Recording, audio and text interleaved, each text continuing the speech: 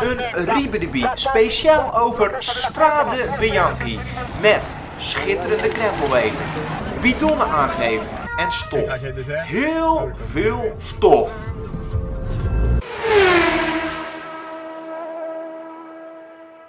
Soms zijn er van die wielerwedstrijden waar je ooit graag een keer bij aanwezig wil zijn. We zijn vandaag in Siena, yes, in Italië.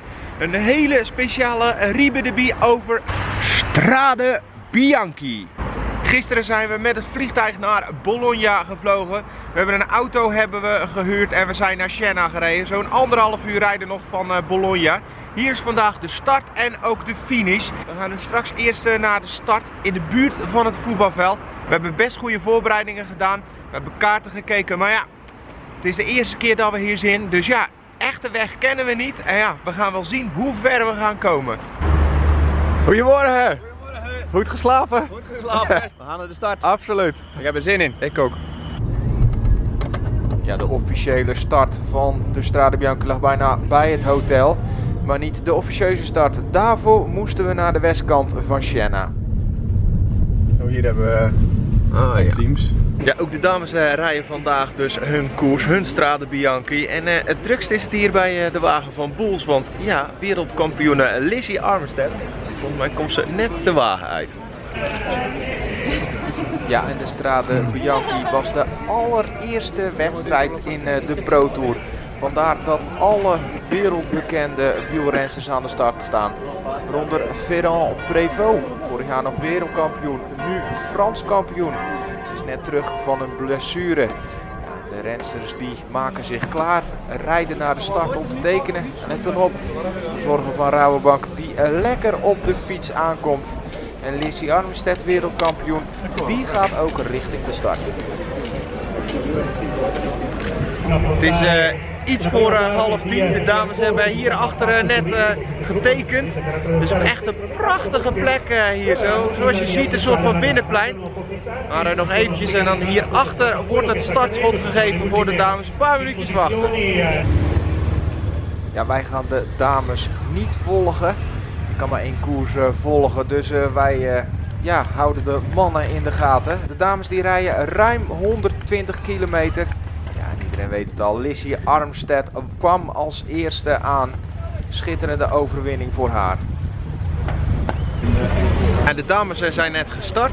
En eh, de ploegen, de bussen gaan weg eh, van de dames. En jawel, komen de ploegen van, eh, van de mannen. Androni onder andere. En eh, hierachter eh, CCC, eh, die staat er al. Het plein waar de ploegen en eh, ook de fans zich verzamelen. Ja, in België staan er wel eens dranghekken rond deze plekken, maar hier niet. Je kan hartstikke goed eh, bij de renners komen. Bij Europese koersen is het altijd hartstikke goed geregeld eh, waar de ploegen en zo gaan staan. Nou, het is hier een beetje op zijn Italiaans, want iedereen moet zijn eigen plekje zoeken. Het is een gedoe waar gaan ze nou eigenlijk staan. Er staan nog een boel damesploegen die staan. Het is een beetje een bende. Mannen van eh, Vini Fantini, die zijn er al bijna klaar voor. En José de Kouwer, hier zo, links, een hand geven aan eh, Wilfried Peters. De belangrijkste fiets die staat niet op het dak daarachter van de ploegleiders, maar Van Trekker die staat gewoon binnen. Kijk, kijk, kijk. Daar komt Cancellara. Moet nog even een plasje doen. Bij de bus van Trek is het dan druk, maar waar het nog veel drukker is, Tinkoff. Want iedereen wil natuurlijk een glimp opvangen van Sagan. C'ha bisogno Manuele, domando. Wat zie je eraan, Raoul? Brede tubes, 26 mm. Ah ja, het staat er hier op. Versnelling van eh, Sagan? 53 39 en gewoon een 11. Zou ik ook doen. Trouwens wel groot hoor, die van 27. Oh ja, ja, ja. ja. 28. Als een van de laatste ploegen komt aan, Lotto Jumbo. Met onder andere Robert Geesink.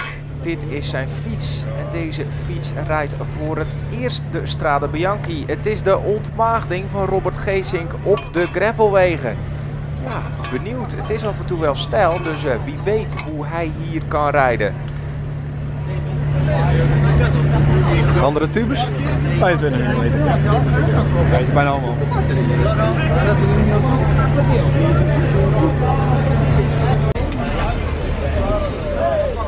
En dan komen de mannen uit de bus. Onder andere Tom van Asbroek, Mike Teunissen, Timo Rozen. Alleen de man in rechts natuurlijk. Robert Geesink. Kijkend naar zijn fiets nog even een eh, laatste check, een laatste controle. Voor hij richting eh, de start gaat. Deze man, Primoz Roglic. Hij was drie jaar geleden, ja echt waar, schatsspringer. Raakte geblesseerd, kwam toen op de fiets. Toen bleek dat hij een hartstikke goed coureur was. Vorig jaar reed hij bijzonder goede uitslagen. Maar wat gaat hij dit jaar bij Lotto Jumbo? En wat kan hij in deze straten bianken? En dan loopt het tegen 11 uur en gaan de renners richting de start.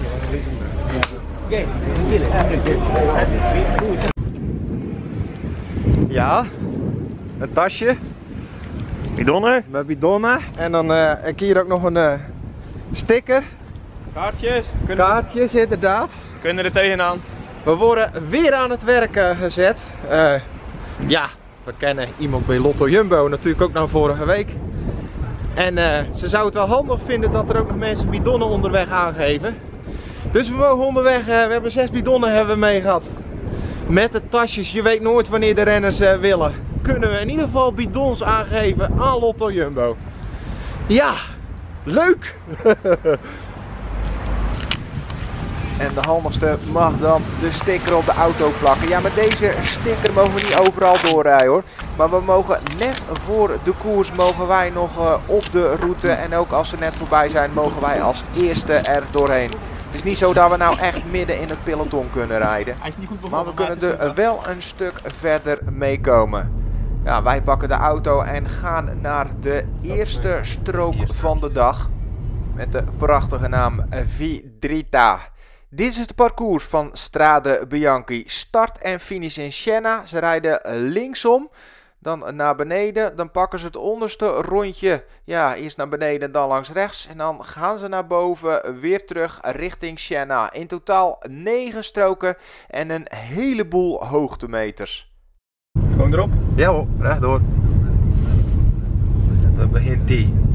Oh. Het, eh, Lekker weg. ja, het ziet er echt anders uit dan ik verwachtte eigenlijk.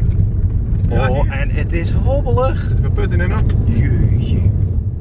En wat later bleek, dit was nog een van de makkelijkste stroken. Ja, wij reden naar het einde van deze strook om te parkeren en de renners voor de eerste keer voorbij zien komen. Molto elevata sin dalla partenza, già tanti discatti sulla testa della corsa, ma fortuna sempre di momento. De renners zijn er bijna en dat zie je in deel 2 van ons avontuur tijdens Strade Bianchi. En wat zit daar nog meer in? Hoe ik de bidon aangeef aan Bert-Jan Lindeman. Taylor Finney. We zitten ineens achter hem na een lekke band. En de finale op 800 meter van de aankomst.